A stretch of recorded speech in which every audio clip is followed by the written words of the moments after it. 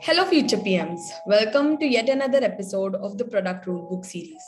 Today, we'll try to understand what exactly a product manager does and what is the skill set absolutely necessary to be a great PM.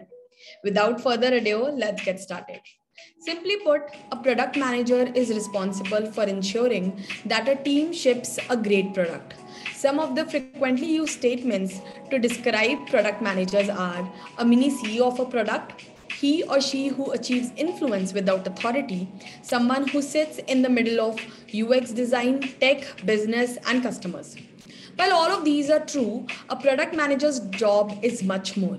As a PM, one needs to be the advocate of the customers, understand their requirements, and translate them into product features. Then ensure these features are built in a cohesive manner that actually solves the customer's need. As a PM, one focuses on everything from a big picture to the very small details. So now that we have a fair understanding of who a PM is, let's dive deep into the skill set a great PM must possess or work on.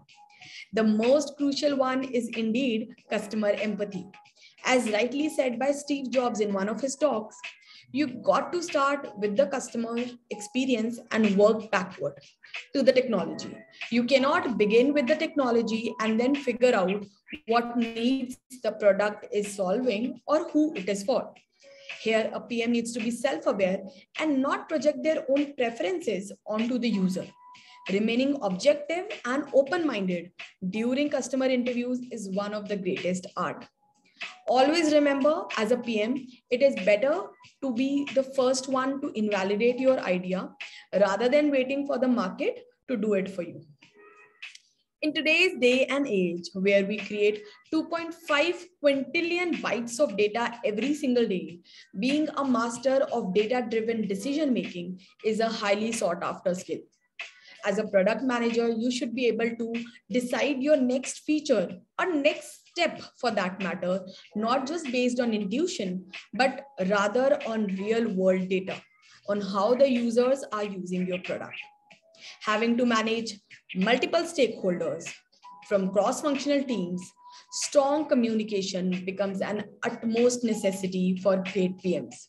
Product managers being highly collaborative role, PM needs to ensure that everyone involved is on the same page Great PMs don't forget to specify critical information and are willing to explain the obvious to make sure it's understood.